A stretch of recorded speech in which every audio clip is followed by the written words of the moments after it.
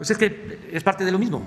Existe también la deshonestidad en artistas, en científicos, en intelectuales. Y es este, pues normal.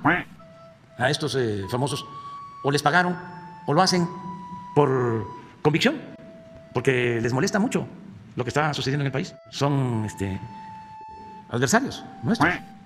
Y algunos muy desinformados.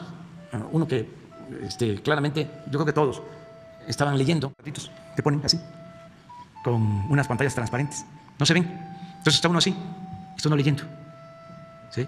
Eso pasa también en los conductores de televisión. Entonces piensa uno, como lo están enfocando, que están improvisando. No, no, están leyendo. Entonces, así a estos famosos los pusieron a leer. ¿Quién sabe quién eh, hizo los textos? Eh, ¿Quién financió? No es que les hayan pagado, también hay esa posibilidad, que les hayan pagado, pero sí costó la producción. Y alguien está detrás, Claudia X González y otros más.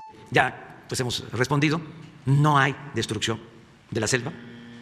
Es eh, una brecha, cuando mucho, de 50 de kilómetros. Y no es monte alto, no es selva, es un acagual. Pero a cambio de eso, porque tenemos que hacer la brecha para hacer el camellón y poner las vías, estamos sembrando en toda la ruta del tren Maya 200.000 hectáreas con el secretario, que en los eh, 1.500 kilómetros del tren, de lado y lado, van a sembrarse hileras eh, de árboles eh, que dan flor. Además de eso, se están creando tres parques naturales. Estas personas, mm, no quiero ser estricto, mm, no quiero ser radical, eh, no quiero ofenderlos tampoco, pero no siento que tengan vocación verdaderamente ecologista.